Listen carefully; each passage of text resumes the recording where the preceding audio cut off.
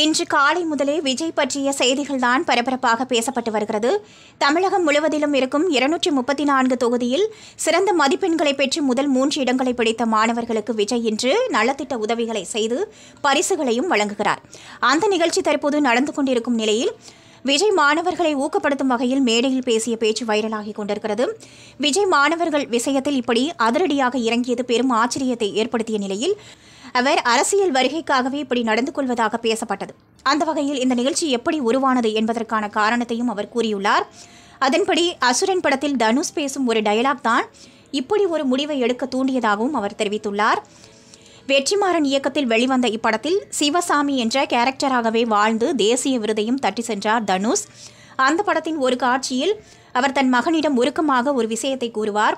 அதாவது நம்ம கிட்ட காடு இருந்தால் எடுத்துக்குவாங்க. பணம் இருந்தால் பிடுங்கிப்பாங்க. ஆனால் படிப்பு இருந்தால் அதை மட்டும் எடுக்கவே முடியாது. அதனால் நல்லா படித்து அதிகாரத்தில் உட்காரணும் என்று சொல்லுவார். அந்த டயலாக்கை மேடையில் பேசிய விஜய் இதுதான் இந்த நிகழ்ச்சியை நடத்துவதற்கு தூண்டியது எனவும் குறிப்பிட்டிருந்தார்.